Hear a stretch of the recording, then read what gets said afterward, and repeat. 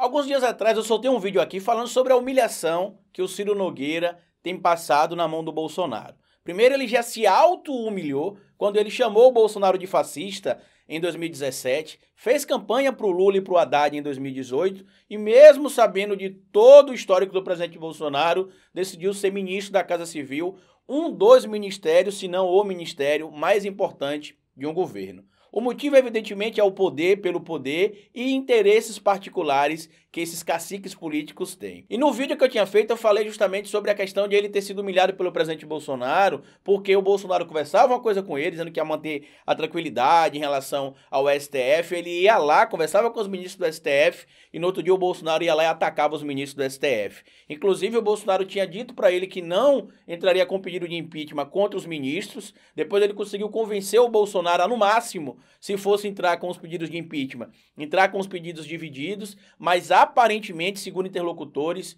o Ciro Nogueira e pessoas próximas conseguiram convencer o presidente Bolsonaro a não dar entrada no pedido de impeachment contra o ministro Luiz Roberto Barroso, presidente do TSE e ministro do STF. Por enquanto, a gente só tem um pedido contra o ministro Alexandre de Moraes. E, na minha opinião, tem um motivo simples para o presidente Bolsonaro ter feito isso.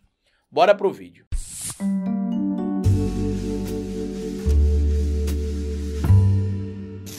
Pois bem, meus amigos, no vídeo que eu soltei mais cedo aqui, eu falei sobre a questão de eu não acreditar no processo de impeachment para tirar o presidente Bolsonaro do poder. A minha tese mais consolidada pelo tempo que eu tenho falado sobre isso aqui seria aquele processo de cassação da chapa do Bolsonaro e do Mourão que está no TSE. Inclusive, informações divulgadas recentemente dão nota de que o TSE já tem material suficiente para caçar a chapa Bolsonaro-Mourão. Porém, há cerca de um ano e um mês da eleição de 2022, é muito pouco provável que o presidente Bolsonaro realmente não chegue à corrida eleitoral de 2022. Porém, faltando um pouco mais de um ano e um mês aproximadamente para a eleição de 2022, é muito pouco provável que o presidente Bolsonaro chegue em 2022 fora do cargo de presidente da República. O máximo que pode acabar acontecendo é ele perder os direitos políticos ou talvez não poder participar por outra maneira da corrida eleitoral de 2022. Por que, que eu estou dizendo isso para vocês? Porque o presidente Bolsonaro ele vai ter direito de recorrer caso a chapa dele seja caçada, a chapa Bolsonaro e Mourão. Então isso vai dar tempo, evidentemente, para que ele consiga concluir pelo menos o seu mandato de presidente da República. E após esse clima muito ruim entre o presidente Bolsonaro e o ministro Luiz Roberto Barroso, presidente do TSE, e ministro do STF, inclusive Bolsonaro foi incluído no inquérito das fake news a pedido do TSE, inclusive por votação lá no TSE, e o pedido foi acatado pelo ministro Alexandre de Moraes.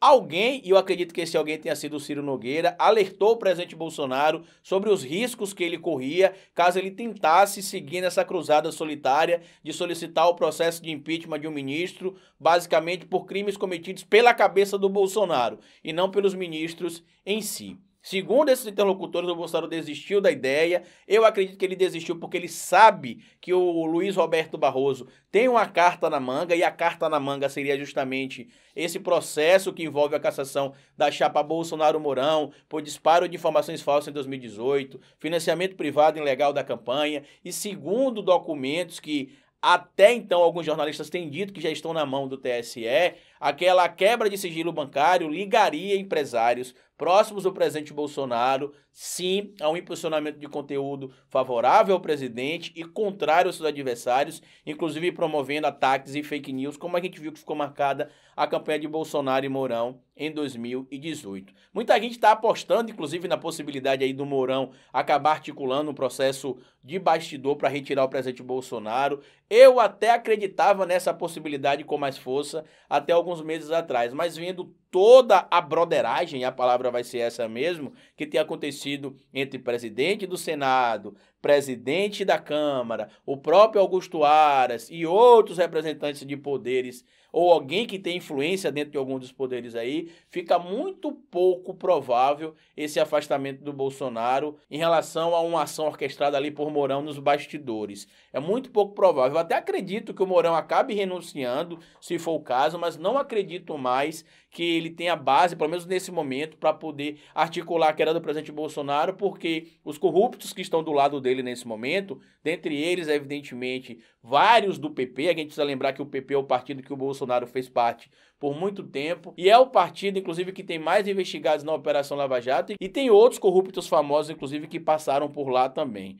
O problema nessa situação toda agora é que essa desistência do Bolsonaro pode aparentar um sinal de paz entre o Poder Executivo e o Poder Judiciário. Só que em entrevista recente, o ministro Alexandre de Moraes deixou claro que a partir de agora, se o presidente começar a atacar, ou melhor, continuar atacando o STF, cometendo crimes e cometendo infrações, é bateu, levou. E para mim, quando o ministro fala isso, sinceramente, é preocupante, porque o papel do judiciário não é estar tá dando opinião sobre a postura certa ou errada do presidente, como se fosse alguém do povo. Eles têm de agir dentro do que a Constituição determina, porque isso acaba dando base material para que eles aleguem que há uma perseguição ao presidente Bolsonaro. Eu entendi o que o ministro Alexandre de Moraes quis dizer, né, que se o Bolsonaro atacar a Constituição, atacar o STF, infringir a Constituição, o STF vai agir dentro da lei para poder punir as ações cometidas pelo presidente. Nisso que ele quer dizer o bateu, levou. O problema é que os apoiadores do presidente Bolsonaro podem utilizar isso como algum argumento para alegar que existe uma perseguição e que a prova seria essa fala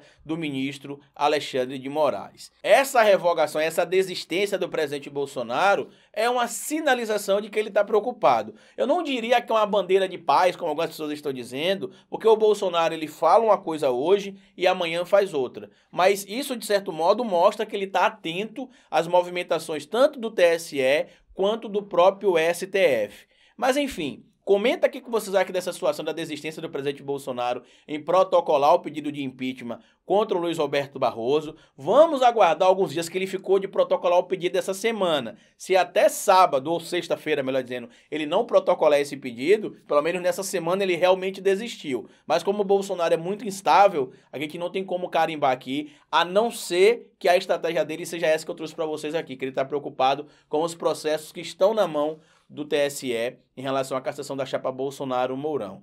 Comenta o que, é que você acha disso, compartilha esse vídeo com outras pessoas, se inscreva no canal e como eu sempre digo para vocês aqui no final dos vídeos, cabeça vazia é oficina para Bolsonaro.